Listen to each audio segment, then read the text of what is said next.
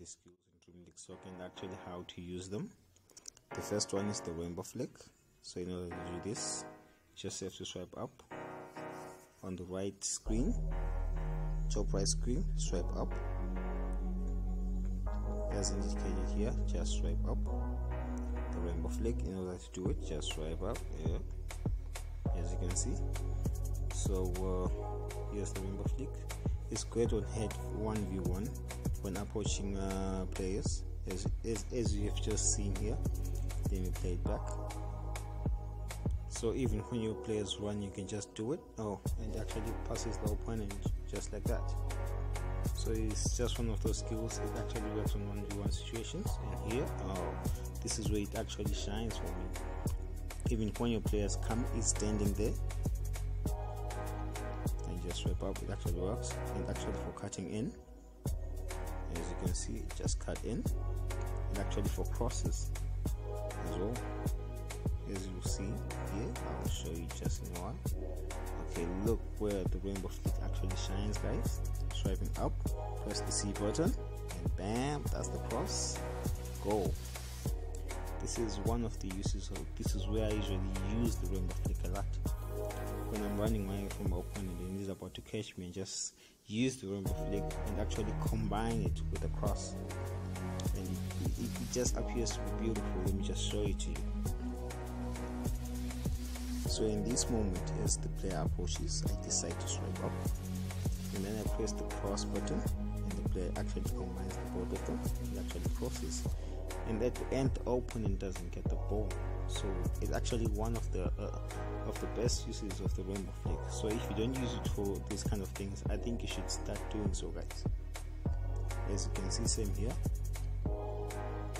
Actually got tackled use the rainbow flick. It's actually good for jumping the player but you should be careful though because this can happen so the rainbow flick isn't uh, the type of skill where you, you, you just perform. You actually have to check whether there's a player in front of you because this can happen. And you get tackled immediately before actually having control of the ball. The second skill I want to show you is the roulette. Uh, to this you just have to swipe down in the rainbow flick guys we were swiping up.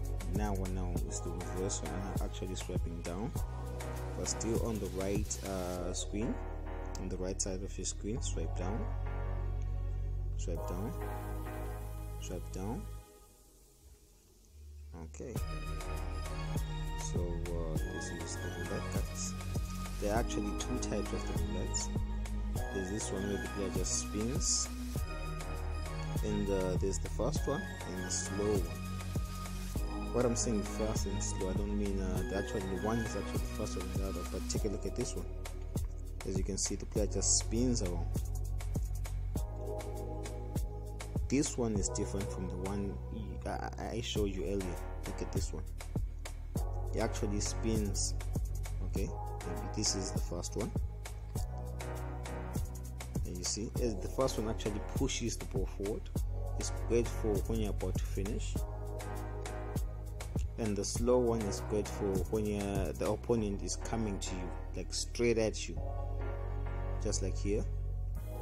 Straight. Okay as you can see there's a different that that that the two are different. Here's the first one pushing the ball forward and actually shooting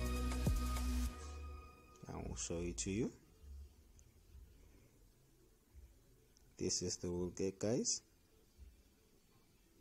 Again the, the, the last one is the faint step over. To do this you actually have to swipe still on the right side of your screen but you have to swipe sideways. Whether you swipe to the left or whether you side to the right is still okay as long as you swipe sideways. Whether it's left or it's right it actually works and this one is great for creating space. Just take a look here. I do it. I just pass two players. I do it. Pass the third. Tackled okay I'm still going I do it. Creating space. And look at that. You can just see how much space I created when I actually created this goal so just take a look here. Created space and then the two pass and emerge and Haaland just did this thing. Here. Mm -hmm. it's actually great for creating space guys. Okay. Do it. Wait for it wait for it. Do it.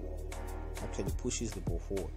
So it actually gives your player a lot of room to actually make those runs up the field as you can see here.